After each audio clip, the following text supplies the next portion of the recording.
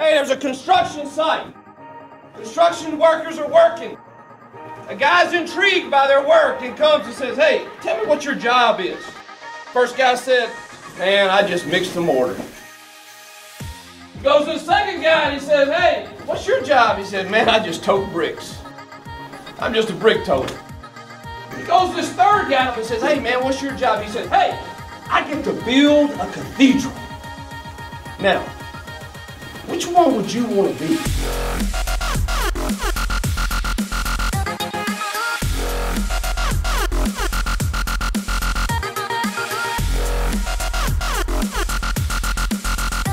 42-yard effort. Ritter has got the distance, and he's got the kick.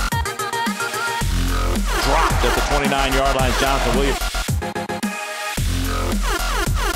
Far side again to the 35. This time grabbed by Vince Sanders. Gets around his man to the 30 to the 25. Working the sidelines. Knocked out of bounds. He's in there.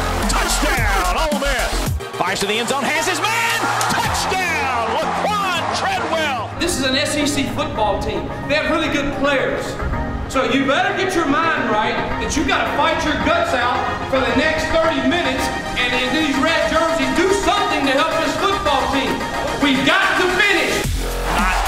anything for Alex Collins. And how about DT? Caught at the 35. It's Logan. He's taking it into the house. The 10, the 5. Touchdown. Ole Miss. Makes the first man miss. He's the 40, the 35. Has a block down the sidelines. The 20, the 15, the 10, the 5. Feed him.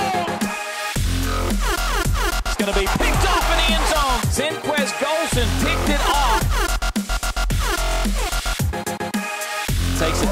that's it. The Ole Miss Rebels are bowl eligible with a sixth victory of the year, knocking off the Arkansas Razorbacks.